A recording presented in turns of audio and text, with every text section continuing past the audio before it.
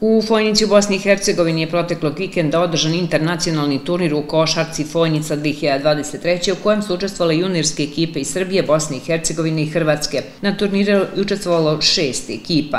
Ekipa košarkaškog kluba Mladost junior iz Lučana koja je osvojila treće mesto. Košarkaši iz Lučana bili su najmlađa ekipa na turniru i činili su je većinom dečaci 2007-2008 godište, a turnir je predviđen do 2006. godišta. Takođe takmičili su se bez nekoliko svojih dobrih igrača, tako da mladi košarkaši košarkaškog kluba Mladost junior iz Lučana zaslužuju čestitke za veliku borbu i osvojenu bronzanu medalju.